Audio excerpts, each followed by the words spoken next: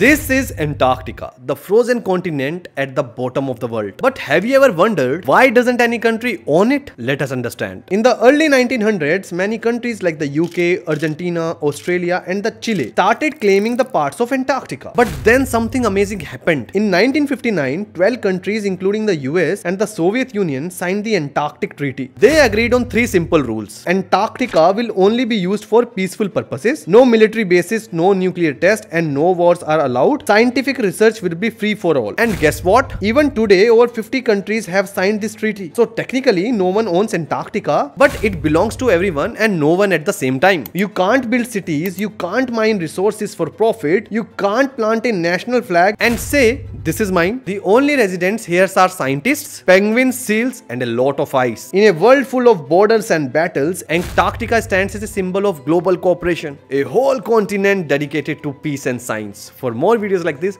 keep watching La Excellence.